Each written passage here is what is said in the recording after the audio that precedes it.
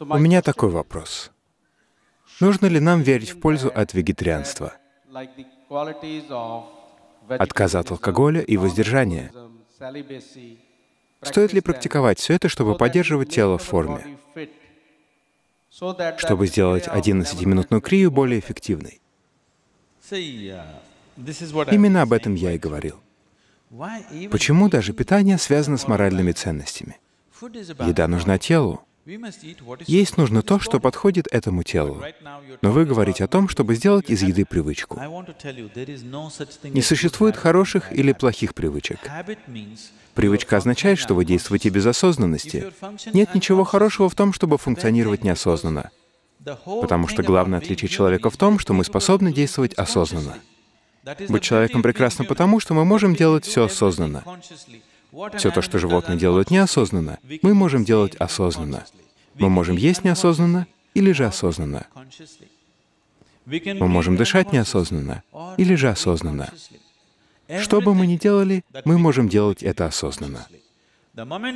Когда мы поступаем осознанно, мы сразу же преображаемся в очень благородных и чудесных людей. Если вы просто ходите и разговариваете осознанно, разве это не делает вас прекрасным человеком? Да или нет? Вот и все. Тогда почему же мы пытаемся создавать привычки, как будто это что-то хорошее? Привычка означает фиксированную реальность, когда вам нет необходимости думать. Вы просыпаетесь утром, и все происходит само собой. Нет, не пытайтесь автоматизировать свою жизнь. Это нельзя назвать эффективностью. Это эффективность машины. Человеку предназначено действовать разумно и осознанно. Человек не должен функционировать как машина.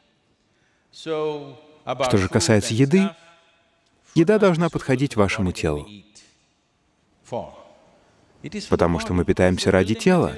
Пища, которую вы едите, — это строительный материал для тела. Сейчас, к сожалению, понятие правильного питания исказилось. Раньше в Индии мы питались очень разумно, но за тысячу лет вторжения появилась другая культура еды. И сегодня национальную диету составляют либо пицца, либо паста. Они соревнуются за лидерство. Мы теряем чувство здравого смысла в том, что касается еды. Пора понять, что является наиболее подходящим для вас. Если я буду в подробностях все рассказывать, это займет очень много времени. Экспериментируйте с едой. Не только со вкусовыми ощущениями, но и с тем, как ощущает себя ваше тело. Съешьте что-нибудь и понаблюдайте. Научитесь наблюдать, насколько активно, насколько энергично тело чувствует себя после той или иной еды. Если вы чувствуете, что умираете, это плохая еда. Если после еды вы чувствуете, что хотите жить, кроме кофе, потому что кофе оказывает стимулирующее воздействие. Если после того, как вы съели что-то, ваше тело чувствует себя живым и активным, это хорошая еда. Вашему телу она нравится. Если вы что-то съели и чувствуете себя вялыми, оно с этой едой не справляется, и поэтому чувствует себя вялым. Вот на что стоит обратить внимание, если говорить об этом поверхностно.